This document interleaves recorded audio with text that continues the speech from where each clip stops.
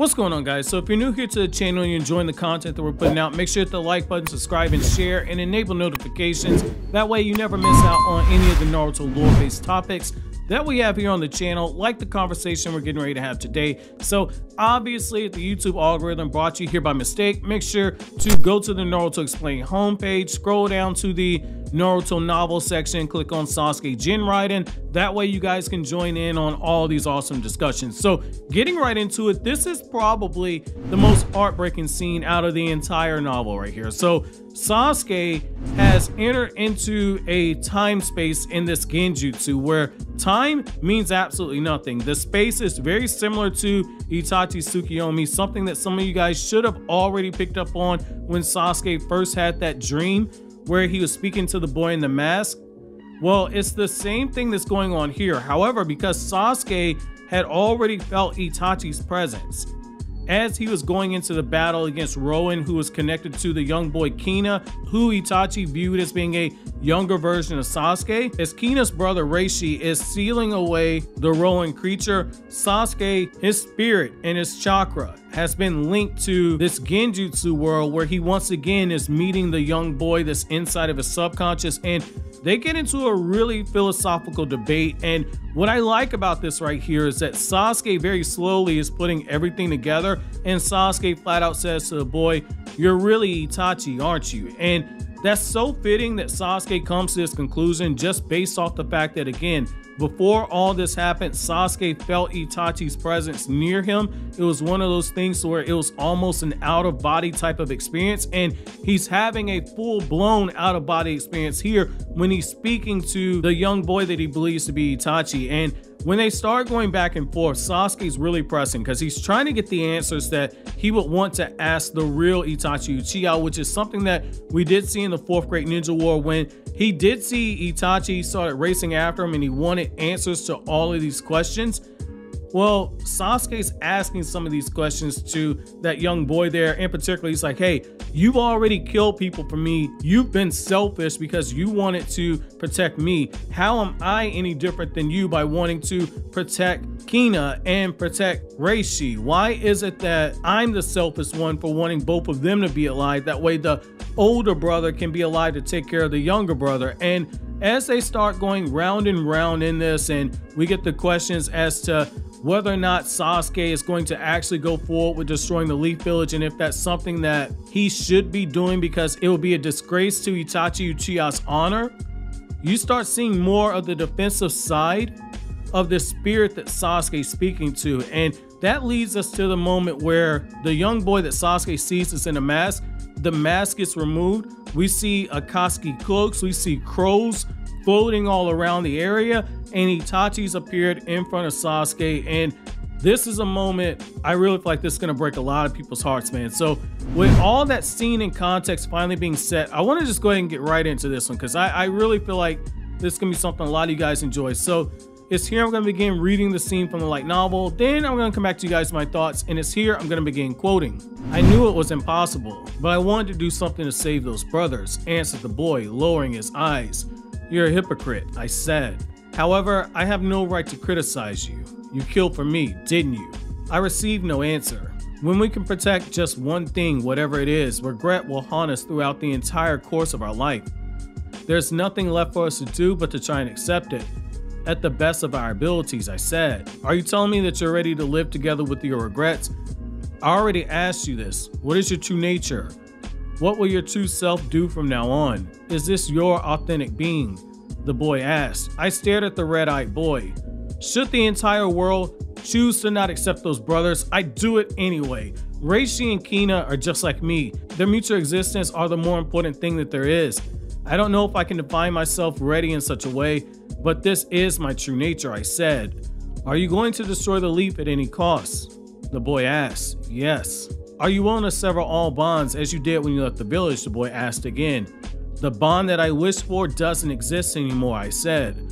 What about Kina and Reishi? The boy asked. There's no place for me between the two of them. That's why I want to save them for my own. Well, I began. Itachi didn't wish me to go against the leaf, the boy said. I know, however, if I didn't do it, I wouldn't know how to prove it to myself. I said, Prove what? The boy asked. The fact that Itachi lives inside of me, that he keeps existing inside of my heart, I said. The boy burst out laughing. It looks like you saw the enigma of this world, the boy said. I held my breath for a moment, then I said, This world is constituted by Itachi's memories, impressed on the Mangekyo's Sharingan. He probably looked into Kina's heart, I said. Tears were streaming profusely on my face. And you're Itachi. You're Itachi Uchiha, my brother, I said. The boy had disappeared. Now in front of my eyes was him, Itachi, and it seemed to me that this had always been his place. The Akatsuki cloak fluttered in the wind. Itachi, I said, even if you were to sever every bond, I'll stay here with you forever, for eternity. His voice sounded like a feeble breath of breeze to me. He slowly raised his hand until he placed it up on the mask. I caught a glimpse of the jaw first, then the lips. His face began to appear little by little. However, the time at our disposal ran out all of a sudden. The magnetic field that constituted the world started to warp.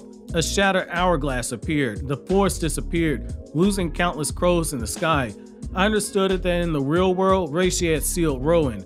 Itachi, I screamed. I fell headfirst onto the hole that had suddenly opened under my feet. While it collapsed in the bottomless sky, for a moment I managed to see it. Itachi's mouth was moving without emitting any sound. Even if you were to sever every bond, he began. Tears were falling like rain from the earth towards the sky. That's how I went through the black dream and came out. I'll stay here for an eternity. That impossible to hear voice echoed in my ears forever. In quote. I love that. That is beautiful. That is absolutely beautiful. The fact that Sasuke, at the last minute, when Roen was being sealed away and the Genjutsu was being broken, Sasuke realizes that that young boy who was telling him, Are you sure you want to trust Madara? Are you sure that you're going about things the right way?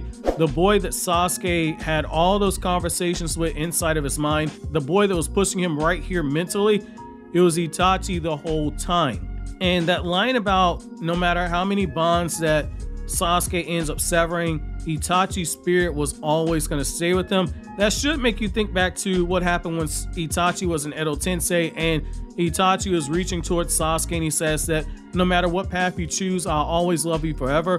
This is that same type of energy right here. And what I like about this is that Sasuke, for him, it's only been days since Itachi had passed away and he's getting the opportunity to basically hear his brother's voice one more time and realize that the whole time that he was speaking to this boy, this boy was trying to guide him onto the right path. And Sasuke was too lost in his rage that he didn't realize that he was talking to his brother the entire time. I love that right there. Again, this just kind of shows you that that bond with Itachi and Sasuke is a lot stronger than we even realized that it was. And what I also like about this scene right here is that as Sasuke begins to return to his own body and leave out of that Genjutsu world, Sasuke is crying tears. I love seeing that bit right there because you just see more and more of Sasuke's emotionally fragile state being displayed to you. And again, this is all leading towards Sasuke standing at the rocks and he's thinking about all those memories with Itachi and then Sasuke, the Mangekyo Sharingan is activated and looking out at the sea. That's what we're building towards right here. We're setting that emotional stage for it. And I think that this is beautiful right here. This is a very beautiful scene. Again, I do wish that this is something that would have been adapted into the anime, but because this came out during the time period that it did, that would have been impossible unless Naruto Shippuden would have done a filler arc. But given how poorly Naruto Shippuden adapted a lot of these novels, I'm actually glad they didn't touch on this one. So what I want to know from you guys, I want to know where do you rank this moment? So you have Sasuke speaking with Itachi's ghost inside of his consciousness. You have Minato and Naruto meeting, and you got Naruto meeting Kushina. Where do you rank this moment right here? Let me know down in the comment section below. But as always, guys, like anything I had to say, don't forget to comment, rate, subscribe, and share. Thank you so much for watching until the end. Have an awesome day, guys.